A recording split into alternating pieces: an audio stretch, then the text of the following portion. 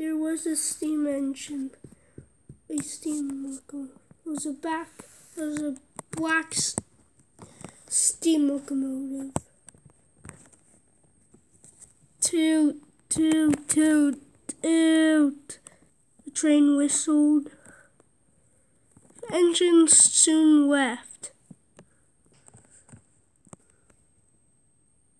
As the locomotive was going on a nice journey, journey, something tragic had eventually happened. The bridge soon soon broke. The person saw it and soon they decided to get out of the car. Soon one of the drivers saw. They tried to stop the train, but they couldn't.